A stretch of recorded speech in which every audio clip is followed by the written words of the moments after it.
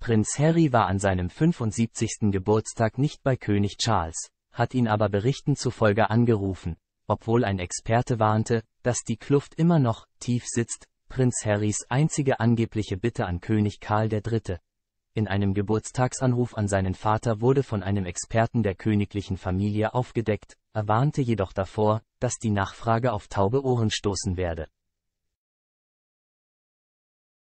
König Charles wird heute 75 Jahre alt, musste aber an seinem großen Tag auf Harry an seiner Seite verzichten, nachdem ein Vertreter des Prinzen letzte Woche sagte, es habe keinen Kontakt seitens der königlichen Familie bezüglich einer Einladung zu den Geburtstagsfeierlichkeiten seines Vaters gegeben.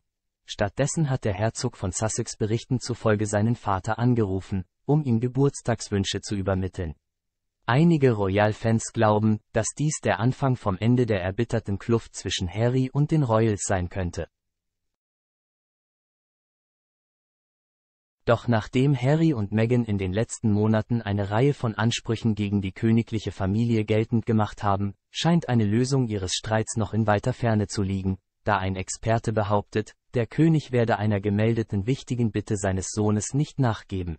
Der königliche Kommentator Richard Fitzwilliams sagte gegenüber Daily Express US, Prinz Harry möchte Berichten zufolge eine Entschuldigung der königlichen Familie für die Art und Weise, wie er und Meghan ihrer Meinung nach behandelt wurden, als sie aktiv waren.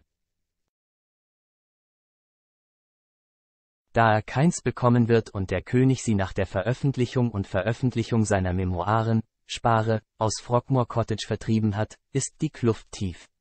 Es wird davon ausgegangen, dass Harry und der König mehrere Monate lang nicht gesprochen haben, aber Herr Fitzwilliams glaubt, dass der Anruf des Prinzen beim Monarchen hilfreich wäre, da er immer noch große Bewunderung für seinen Vater empfindet.